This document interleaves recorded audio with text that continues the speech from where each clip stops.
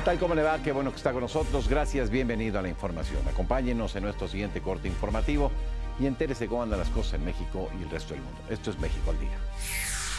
La mala calidad del aire no cede y por lo tanto se reactivó la fase 1 de la contingencia ambiental. Este martes no circulan automóviles con engomado rosa, hologramas con terminación 1 con terminación de placanón y hologramas número 2. La Fiscalía General de Justicia del Estado de Veracruz envió al Congreso de la Unión una solicitud de desafuero en contra del diputado del PRI, Alberto Silva Ramos.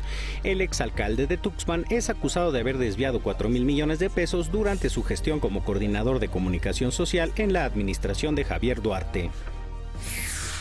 Elementos de la Secretaría de Marina detuvieron en Nuevo León a Guillermo René Escamilla, alias El Memito, quien es identificado como el líder del grupo delictivo Los Ciclones, una célula del cártel del Golfo.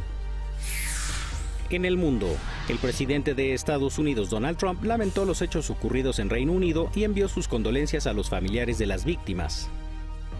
Extiendo mis más profundas condolencias para los heridos en este ataque terrorista, para todos los muertos y a las familias de las víctimas. Estamos en solidaridad absoluta con el pueblo del Reino Unido, tantas personas jóvenes, inocentes y hermosas que viven y disfrutan de sus vidas, asesinadas por los malos perdedores de la vida.